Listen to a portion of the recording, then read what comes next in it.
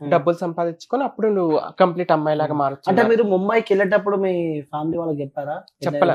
చెప్పకుండా పారిపోయాను. తప్పు కదా తప్ప అంటే అమ్మాయిగా మారాలి అనే ఆ కోరిక ఎంత బలమైనదంటే ఎలా వెళ్ళానో కూడా ఆ- కోరిక మనసులోకి వస్తే ఉం. కనిపించిన ఇంట్లో కూడా మర్చిపోయినాను మర్చిపోవటం కాదు మళ్ళీ వస్తాం కదా. చెప్తే పోనివ్వరు కదా. ఇప్పుడు? ఇప్పుడు నువ్వు ఉన్నావు. ఇప్పుడు నేనున్నాను. అమ్మ నేను వెళ్తున్నా సర్జరీ చేయించుకుంటున్నా అమ్మాయిలాగా మారుతున్నా అంటే మా అమ్మ పోనిస్తా. మా నాన్న పోనిస్తారా. పోనివ్వరు కదా. కా అందుకే చెప్పకుండా వెళ్ళాల్సి వచ్చింది. అప్పుడు అమ్మ పాకెట్ మనీ అవి ఇవి ఫైవ్ హండ్రెడ్ జమ చేసుకున్నాం. అమ్మాయిగా మారాలనేంత కోరిక బలం ఏంటంటే విజయవాడ నుండి ముంబైకి twenty four hours journey Mumbai. Okay. General tickets ఉండే అప్పుడు జనరల్ డబ్బాలు ఉండేవి అందరు కూర్చుని నించుంటారు. రిజర్వేషన్ లేకుండా మేము ముగ్గురం వెళ్ళామన్నమాట జనరల్ టికెట్ తీసుకుని వాష్రూమ్స్ పక్కన కూర్చొని ట్వంటీ ఫోర్ అవర్స్ ట్రైన్లో జర్నీ చేసి ముంబై వెళ్ళాం. ఇప్పుడు ఆలోచించుకున్నాం అమ్మో నేను ఎంత ఇంత కష్టపడ్డాను సమ్ టైమ్స్ అనిపిస్తుంది. అమ్మాయిగా మారాలనే కోరిక అంత బలమైనది అనమాట. అక్కడికి వెళ్తే తీరా ఏమైందంటే నువ్వు సర్జరీ చేయించుకొని డబ్బులు కావాలి నువ్వు బెగ్గింగ్కి వెళ్తావా సెక్స్ వర్క్. అమ్మ వీళ్ళేంటి బెగ్గింగ్ సెక్స్ వర్క్ అంటున్నారు నేను డిగ్రీ చేశానండి డిగ్రీ అయిపోయింది నాది నేను జాబ్ చేస్తానంటే పక్ నవ్వేస్తారు నా మొహం మీద నవ్వేసి కొచ్చలకు జాబ్ ఎవరు ఇస్తారు నువ్వేం జాబులు చేస్తావు. మనకేం రెస్పెక్ట్ ఉంది సొసైటీలో అనేసి పాపం ఎందుకంటే ఇప్పుడిప్పుడు మనకి టూ థౌజండ్ ట్వెల్వ్ తర్వాత నాలుగు జడ్జిమెంట్స్ ఫోర్టీన్లో నాలుగు జడ్జిమెంట్. రావటం. Three seventy seven act transgender protection act రావటం దాని తర్వాత ఓటర్ ఐడీలు రావటం ఒక సొసైటీలో ఒక రికగ్నైజేషన్. వచ్చింది అంతకుముందు ఏ ఆపర్చునిటీస్ లేవు ఏం అవకాశాలు లేవు ఇంక ఇవి రెండే మార్గాలు ఉండేవి అనమాట సో అట్లా అనిపించారు నేను అలా లేదండి గౌరవంగా బతుక నేను జాబ్ చేసుకుంటే ఇవి నేను చేయనని చెప్పేసి బ్యాక్ టు హోమ్. మా విలేజ్కి వచ్చాను నేను. మళ్ళీ. అంటే అక్కడ ఏం డైరెక్ట్ వచ్చేస్తా వెంటనే. మళ్ళీ టూ డేస్లో రిటర్న్ వచ్చేస్తా. ఉండలేకపోయాను. ఎందుకంటే యూనో చిన్నప్పటి నుండి అమ్మ అమ్మను పెరిగాను. అమ్మ లేకుండా ఒక రోజు కూడా ఉండలేకపోయాను. అమ్మ గుర్తొచ్చింది భయంకరంగా ఏడ్చేసాను నాకు అమ్మ కావాలి అమ్మ కావాలి అని ఏడ్చేసేసి టూ డేస్లో రిటర్న్ వచ్చా. రిటర్న్ వచ్చినప్పటికి మా అమ్మ నన్ను హక్ చేసుకుని బాగా ఏడ్చింది. మా అమ్మకి చెప్పాను ఇట్లానే నువ్వు ఎప్పుడు అలా ఉండకూడదు. నువ్వు గౌరవంగా బ్రతకాలి. ఒకళ్ళకి ఇచ్చే స్థితిలో ఉండాలి కానీ ఒకళ్ళ దగ్గర నువ్వు ఎప్పుడు తీసుకోకూడదు అని మా అమ్మ నాకు సపోర్ట్. చేస్తుంది. మా మదర్ ఓన్లీ సపోర్ట్ అంటే అప్పుడు రాగానే మీ మదర్ సపోర్ట్ చేసింది ఏమన్నా నేను ఏమనలే. సపోర్ట్. చేస్తుంది అమ్మ. మొత్తం ఇట్లా ఈ సర్జరీ కోసం చెప్పాను. ముంబై వెళ్ళానమ్మా నేను కంప్లీట్ అమ్మాయిలాగా అంటే అమ్మకి ఆల్రెడీ తెలుసు. నేను అమ్మాయిని కాదు అబ్బాయిని కాదు డిఫరెంట్గా ఉన్నాను. చిన్నప్పటి. నుండి తెలుసు. ఎందుకంటే నా బిహేవియర్ కానీ నేను మాట్లాడే విధానం కానీ ఎవ్రీథింగ్ యూనో చిన్నప్పుడు కూడా చిన్నప్పటి నుండి ఇంట్లో కూడా కల్లెప్ చల్లటం ముగ్గులు పెట్టడం. బౌల్స్ క్లీన్ చేయటం ఇల్లు క్లీన్ చేయటం ఇవే చేసేదాన్ని చిన్నప్పుడు. నాకు ఇష్టం అవి చేయటం ఆడపిల్లలతో పాటు అచ్చని గిల్ల తొక్కుడు బిల్ల. ఇక అంతే అమ్మాయే నేను చిన్నప్పటి నుండి నా మా ఇంట్లో కానీ మా ఊర్లో కానీ నన్ను అబ్బాయి అని ఏ ఒక్కళ్ళు అనుకోలే అప్పుడు బాధ? బాధ ఏంటండి ఏడ్చుకునేదాన్ని. చచ్చిపోవాలనిపించదు. పిల్లలు ఏడిపించేవాళ్ళు సెవెంత్. క్లాస్లో నాకేం తెలియనప్పుడు పిల్లలు నా పక్కన కూర్చోవద్దు అటు మూలకెళ్ళి కూర్చొనే వాళ్ళు. అమ్మాయిల పక్కన కూర్చోవద్దు అబ్బాయిల పక్కన కూర్చోవద్దు నిక్కు రిప్పేసి నీకు కిందే పార్ట్ ఉంది చూపించని అడిగేవాళ్ళు ఉం. ఇంటికి వచ్చి ఏడ్చేదాన్ని అమ్మ నేను స్కూల్కి వెళ్ళను ఉం. పిల్లలు ఇంత భయంకరంగా నన్ను ఏడిపిస్తున్నారు అని చెప్పి బాగా ఏడ్చుకునేదాన్ని అట్లనే అట్లనే పెరుగుతున్న కొద్దీ నైన్త్ క్లాస్ ఉన్నప్పుడు ఇంకా హెరాస్మెంట్స్ బాగా పెరిగినాయి ఉం. అప్పుడు చచ్చిపోదామని కూడా అనుకున్నా. ఎందుకంటే. నేను ఏం తప్పు చేశాను? నన్ను ఎందుకు ఇట్లా హింసిస్తున్నారు? ఇంట్లో ఉండి కాలు బయట పెట్టాలంటే భయం వేసేది వణుకొచ్చేది నాకు. ఎవడేమంటాడో. ఎవడు ఎలాంటి మాటలు అంటాడని వణుకొచ్చేది. నేనేం. చ- తప్పు చేయలేదు. కానీ సొసైటీ నాకు ఎందుకు ఇలాంటి పేర్లు ఇస్తుంది? నన్ను అవమానిస్తున్నారు అని చెప్పి అప్పుడు నాకు తెలీదు సొసైటీలో ఇంకా చాలా- చాలా మంది ట్రాన్స్ ఉంటారు. సర్జరీస్ చేసుకోవచ్చు అమ్మాయిలాగా మారొచ్చు అనే నాలెడ్జ్ తెలియదు. ఇప్పుడు అప్పుడు ఈ ఫోన్లు ఇప్పుడు ఇవన్నీ వచ్చినాయి నాకు అప్పుడు ఫోనే లేదు నా డిగ్రీ అయిపోయినాక నోకియా చిన్న డబ్బా ఫోన్ కీప్యాడ్. Keypad phone. కొనుక్కున్నాను అనమాట. సోషల్ మీడియా ఎఫెక్ట్ లేదు కదా Hmm. నాకు తెలియదు అప్పుడు ఐ బిలీవ్ జీసస్ అన్నమాట ఓకే దేవుడు కనిపిస్తే కోర్టు బోన్లో నించోబెట్టి నాకు న్యాయం చెప్పు నన్ను నాకెందుకు ఈ జన్మిచ్చావు ఉం. నాకెందుకు ఈ అవమానాలు ఇచ్చావు నేను చేసిన తప్పేంటి అని అడగాలనిపించేది ఉం. రోజు ఏడ్చుకునేదాన్ని ఎవ్రీడే నాకు ఎందుకు ఈ జన్మ ఉం. అందరూ నార్మల్గా ఉన్నారు నేను మాత్రం ఎందుకు ఇలా పుట్టాను. డిఫరెంట్గా ఉన్నాను ఏంటి అని చెప్పి. నన్ను నేను ఏడ్చుకునేదాన్ని. ప్రతిరోజు భయంకరంగా ఏడ్చుకునేదాన్ని మీరు సూసైడ్ అటెంప్ట్ దాకా కూడా పోయారని చెప్పి. అది అమ్మ చనిపోయినప్పుడు అండి. ఎందుకంటే చిన్నప్పటి నుండి కూడా నా మంచిలో చెడులో బాధలో అవమానంలో అవహేళనలో నాకు తోడుండింది అమ్మ మాత్రమే. ఈవెన్ మా నాన్న కూడా నన్ను ఇష్టపడేవాళ్ళు కాదనమాట. ఎందుకంటే సొసైటీ సోకాల్ సొసైటీలో పీపుల్ నా వల్ల తను పరువు పోతుందని నా వల్ల తన సొసైటీలో తలెత్తుకొని తిరగలేకపోతున్నాడని ఊర్లో వెళ్తే మీ అబ్బాయి తేడాగాడంట మీ అబ్బాయి పాయింట్ ఫైవ్ అంటున్నారని చెప్పేసి మా నాన్న డ్రింక్ చేసి వచ్చేసి నన్ను తిట్టేవాడు అమ్మని తిట్టేవాడు అనమాట నాన్న అక్కని బ్రదర్స్ మా తమ్ముడిని అక్క వాళ్ళని ఇష్టపడేవాడు కానీ నన్ను ఎప్పుడు ఇష్టపడేవాడు కాదనమాట. నాన్న ప్రేమ నాకు దూరమైంది. ఓన్లీ అమ్మ ప్రేమే నాకు దొరికిందనమాట.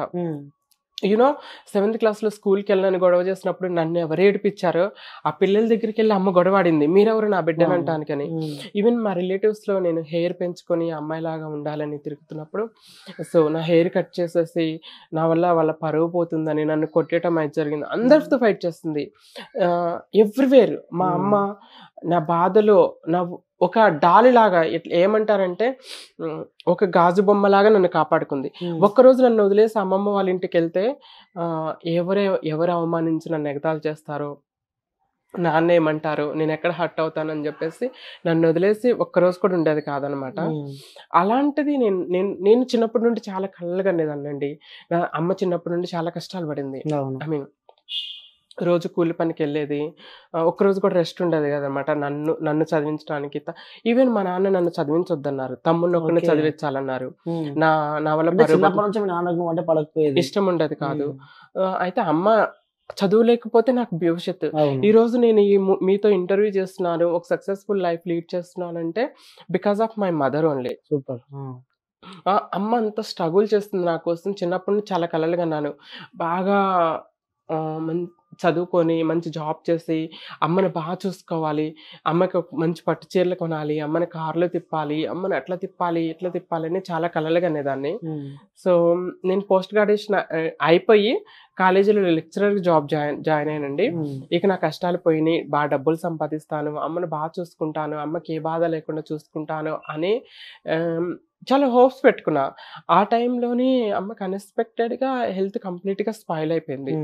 హార్ట్ ప్రాబ్లం మణిపాల్ హాస్పిటల్లో విజయవాడలో అడ్మిట్ చేస్తాము అరౌండ్గా వెంటిలేటర్ మీదే ఫిఫ్టీన్ డేస్ ఉన్నాము.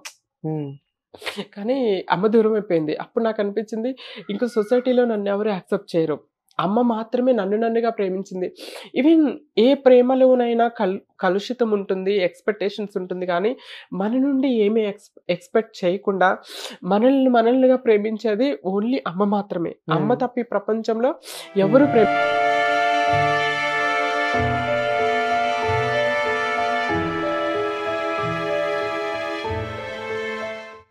నా బ్రతికేంటి?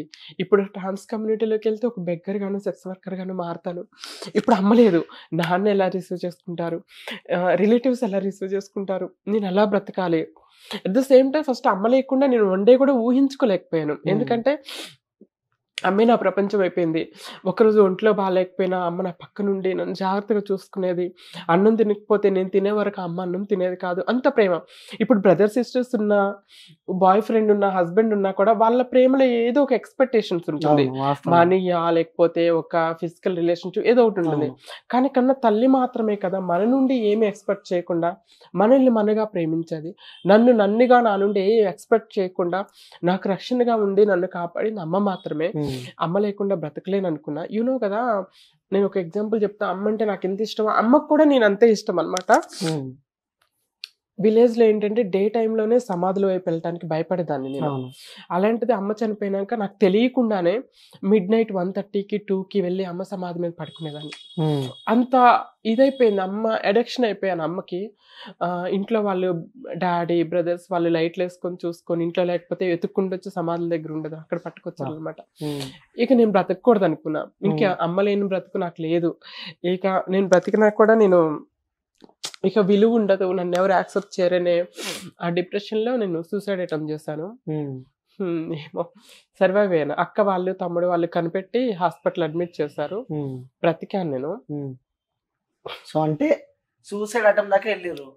సో దేవుని దయ వల్ల ఏం కాలేదు. సో. బ్యాక్ వచ్చారు. ఇప్పుడు ఎట్లుంది లైఫ్? ఇప్పుడు గోయింగ్ గుడ్ అండి. చాలా ఐఎమ్ డూయింగ్ గ్రేట్ మా అమ్మ మా అమ్మ నాకు ఏ లైఫ్ ఇవ్వాలి అను అని అనుకుందో అదే లైఫ్ నేను లీడ్ చేస్తున్నా. కాకపోతే అనుక్షణం నాకు వెంటాడే బాధ ఏంటంటే అమ్మ నా బాధను నా కన్నీళ్ళు నా అవమానాలే చూసింది. నా చప్పట్లు చూడలేదు. నేను సక్సెస్ అయితే నన్ను నాకు కొట్టే చప్పట్లు చూడలేదు. ఆ, నేను సాధించిన విజయాలు చూడలేదు. నాకు వచ్చిన అవార్డ్స్ చూడలేదు. రిసీవ్ చూడలేదు. నన్ను నేను స్క్రీన్ మీద చూస్తున్నప్పుడు ఇవన్నీ చూడలేదు కదా. ఆ బాధ అయితే అనుక్షణం నన్ను వెంటాడుతుంది. నా బాధలు అవమానాలు కన్నీళ్ళు కష్టాలు చూస్తుంది అమ్మ కానీ నా సక్సెస్ని నా అభివృద్ధిని ఆ, నా మంచి లీడ్ చేస్తున్న నాకు దొరుకుతున్న గౌరవాన్ని అమ్మ. చూడకుండా చూడలేదని చూడలేదని చెప్పి నువ్వు అనుకుంటున్నావు? బాధ సో ప్రతి క్షణం మీ మమ్మీ నీతోనే ఉంది. సో నువ్వు Hopefully. ఉన్న సక్సెస్లో తను నీతోనే ఉంది అనుకోవాలి ఎప్పుడు. ఎందుకంటే తను నువ్వు ఇక్కడ బాధపడితే తను అక్కడి నుంచి బాధపడుతుంటది. అఫ్ కోర్స్ అండి ఎంత మంది ఉన్నా కూడా అమ్మ ప్రేమను అయితే ఎవరు ఇవ్వలేరు. సో నేను ఎంత సక్సెస్ అయ్యి ఎంత తిరిగి వచ్చిన నైట్ ఇంటికి వచ్చి పడుకునే ముందు కంపల్సరీ. అమ్మ కంపల్సరీ నాకు గుర్తొస్తుంది. ఎందుకంటే నేను అమ్మ ఉన్నప్పుడు ఒక్కరోజు స్కూల్కి వెళ్ళినా కాలేజ్కి వెళ్ళినా నేను ఆ వీధి కనపడకుండా వెళ్ళిపోయే వరకు అమ్మ చూస్తూనే ఉండేది. ఎవరు ఏమన్నా డిస్టర్బ్ చేస్తున్నారా ఇబ్బంది పడుతున్నారా అని మళ్ళీ ఇంటికి వచ్చేటప్పుడు ఆ వీధి నేను వచ్చినప్పుడు చివరి వీధి చివరి నుండి ఇంటికి వచ్చే వరకు ఆ రోడ్డు మీద ఉండి నా కోసం చూస్తూ ఉండదు అమ్మ. ఆ ప్రేమ ఎవరు